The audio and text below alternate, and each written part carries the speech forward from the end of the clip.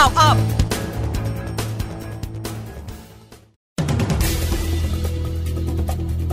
17นาฬิกา3นาทีระวีมาชมาดลทำนายเลือกตั้งปี 62 เป็นการต่อสู้สองพักใหญ่ พักทหารและพักเพื่อไทย ขณะประชาธิปัตย์อาจต่ำกว่า 100 ที่นั่ง แต่เป็นตัวแปรสำคัญตั้งรัฐบาล 17นาฬิกา12 นาที ตำรวจออกหมายเรียกหนุ่มสาวชี้หน้าด่าทอตำรวจสพมาบตะพุธมารับทราบข้อกล่าวหาหลังมีผู้แชร์คลิปว่อนโซเชียล 17นาฬิกา25 นาที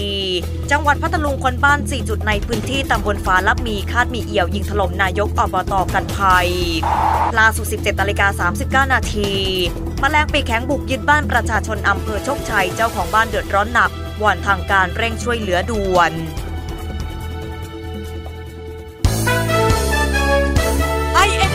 News New Roundup